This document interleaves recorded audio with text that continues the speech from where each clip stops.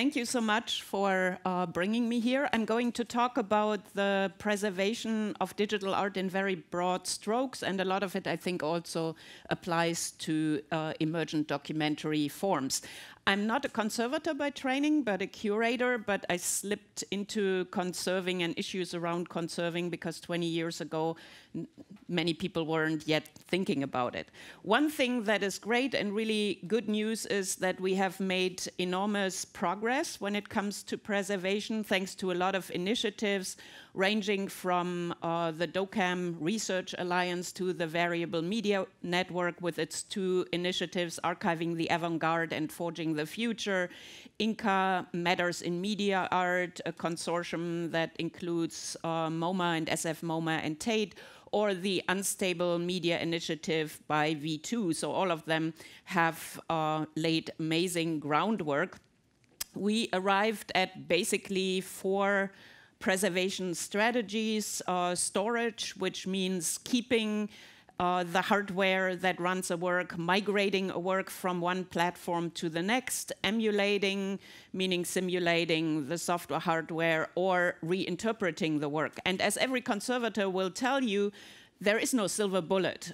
Which method is really the best needs to be decided on a case by case basis. What do we do um, with the specific uh, work?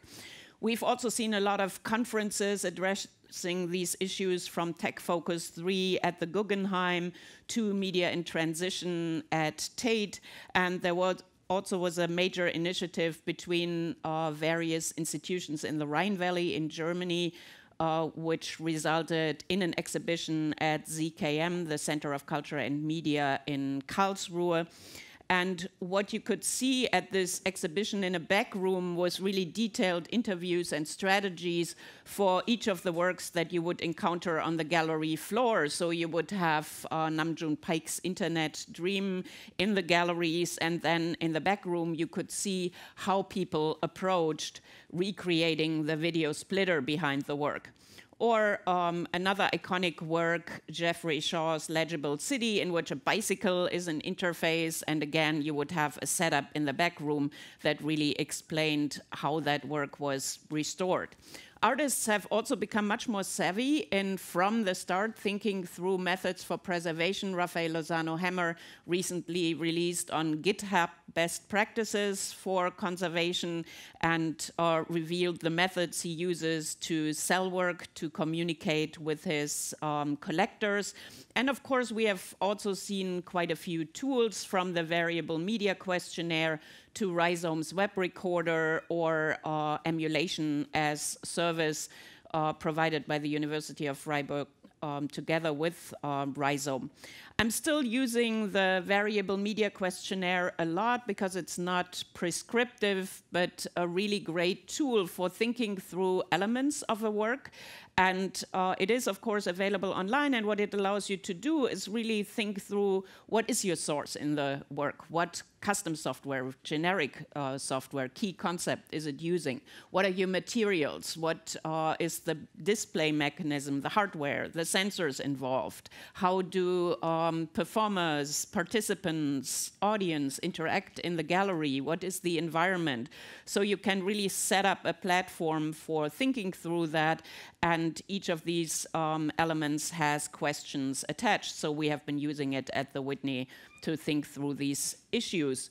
A web recorder is particularly um, good for keeping a record of works that have been created on social media platforms such as Facebook or Instagram and uh, thinking through that. And Amalia Ulman's Excellences and Perfections, of course, was one of the case studies for that. And I think emulation also is a great method, particularly for work that is situated in time. So, what you see here is an emulation of George Legrady's An Annotated Archive of the Cold War, uh, which is partly a documentary project in that he uses the floor plan of the Hungarian Workers' Mu Movement Museum as a background for really telling his own history obviously, if you would migrate that work it looks very dated today. It has aesthetics of uh, its time. So if you would um, want to see it today, I think reinterpretation and redoing it from scratch would be the right uh, method. But I think emulation also reminds you of a certain kind of situatedness and context in which a work had been created. So when we're talking about preserving software-based art, we still need to think through what form it takes. Is it a networked installation? Is it uh, virtual reality, locative media art, or net art? And we have to make decisions accordingly. One issue that has already come up is that software art has to be understood as a cultural and politically coded construct as much as the formal poetics and uh, aesthetics of the software code. So if you're preserving that type of work, you have to think through the programming language, the code as a form of artistic expression, and the aesthetic language of the code's actions. And all of that needs to be responded to. So when we're thinking about the work that early pioneers have uh, created, such as the Algorists, among them Manfred Mohr, Frieder Nake, Vera Molnar, they were um, at the time still writing their code on paper, then that code was output on uh, punch cards or uh, punch tape, and then resulted in the type of drawing you see on the left. So the challenge here is, first of all, um, as a curator, saying, well, you know, this print is actually software art. What you look at as a drawing is software. And in the preservation, there is little need to fetishize that drawing on paper and try to preserve that. What needs to be preserved is the code that then can be output. Another example, one of the um, early artificial intelligence uh, projects, Harold Cohen's um, Aaron, which is a drawing uh, software. First, Aaron was drawing very representationally. You uh, see here an installation of it at the Museum uh, of Modern Art in San Francisco in 1979. And what happened here very quickly is that Aaron was actually associated with the drawing mechanism, with the turtle, which kind of superseded the work. So here the challenge was really negotiating the materialities. You, you have on the one hand the code, then you have the output, which is the drawing on paper, and you have a device that is doing the drawing. So each of these elements need to be preserved, or you need to um, think through that. Screen-based and projected um, software art also comes with its own set of challenges. So you're looking uh, here at John F. Simon Jr.'s color panel version 1.0. Uh, the left two are the original and uh, a test copy. On the right, you see the migrated version to um, G3. And not only did the work need to be slowed down because it ran much, much faster on the higher level platform, but in the original, um, John Simon actually just stripped the computer of its housing, and that's what you see on that background. On the right, with the G3, he is faking it a little bit because that's not what uh, the G3 looks like when you take it out. So he glued the components you see at the bottom to um, the platform. I was first horrified when I saw that and asked him, What are you doing? But then I realized that for him it was as much a, a, sculptural object as software, and it was actually very important to recreate that feeling. So here you're also negotiating materialities, but also the speed and the um, scale of the work. Another uh, challenge are works that rely on external software. So Siebren uh, Untitled Film, for example, overlays real-time obituary listings and birth announcements onto um, the opening and closing screen of a film. So what if the server with those um, providing those services goes down? You know, what if that vanishes? Do you create recordings to recreate the work? Ian Cheng uh, Baby feat. Ikaria, which is in the collection of the Whitney Museum, creates its visual out of a conversation between chatbots. Those are also external um, services. And uh, Ian recently came to us and wanted to update the bots because there's a lot of development in AI, of course. So we realized this work also has a digital life that will continuously evolve. So Ian created a GitHub repository in which we are constantly keeping track of all of the changes and are keeping copies of the work. So here the challenges are really contextualizing the external data and uh, preserving the external data and keeping a record of it. We already talked a little bit about documentation. Archiving exhibition context is incredibly important because works get shown in very different ways. Without getting into details of the work itself, what you're looking at here is an installation sketch of Martin Wattenberg and Marek Walczak's website, The Apartment, shown at the Whitney Museum. And the way we showed it was in a 2D kind of user station. It has a 2D component with a 3D projection. So now here you have the same work on the top left being shown at Ars Electronica, where the 2D and 3D were projected next to each other. You had an input table for two people and an archive station where you could browse what other people had created, completely different setup. And on the um, bottom right, uh, just at input table, and it was shown like that a lot in Europe. So we also need histories of exhibition context. Annet Dekker, in her essay Enabling the Future or How to Survive Forever, talks specifically about a work by JODI, Jet Set Willy Forever. And in that project, the documentation of the keystrokes of the artists playing with the work, similar to what we have just seen with uh, Zig, actually became part of the work. So documentation became part of the artwork itself. Yet another issue is raised by projects such as Mouchette, which was um, a website in which the artist impersonated a 13 year old um, girl.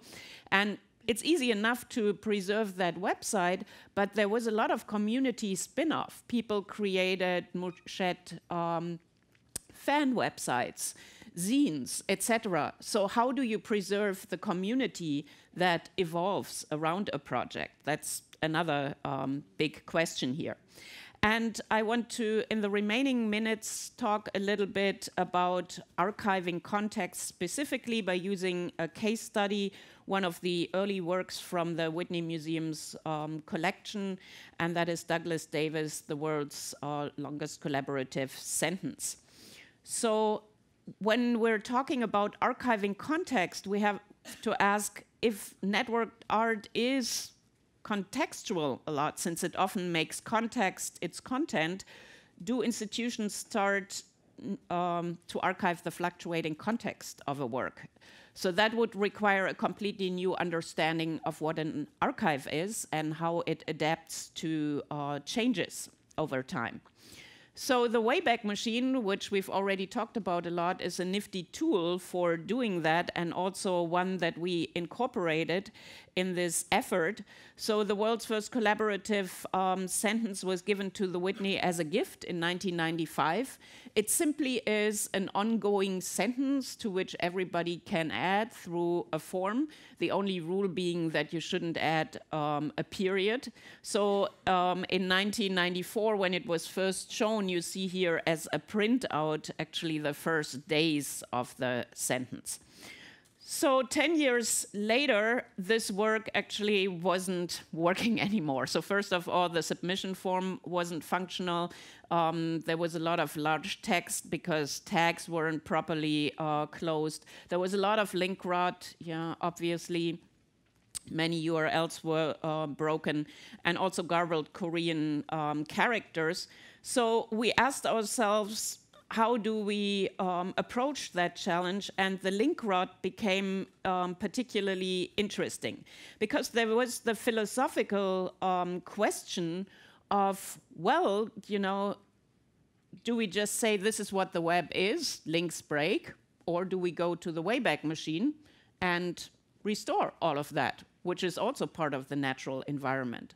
So in the end, we decided to actually create two versions of the work one live version that restored uh, the piece's functionality and allowed users to contribute again and promoted everything to current standards. But the links and um, URLs originally posted were left broken.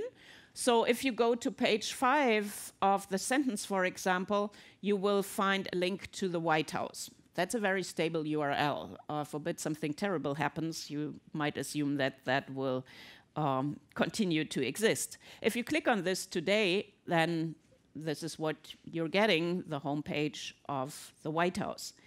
Then, side by side, we created the historic um, version, which leaves the code mainly untouched and shows the work as it would have been experienced way back when.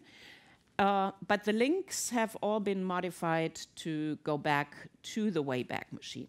So if you do the same on page five of the sentence, you're entering the Wayback Machine and you're entering a time tunnel in that you can go back to how people would have experienced the work at the time.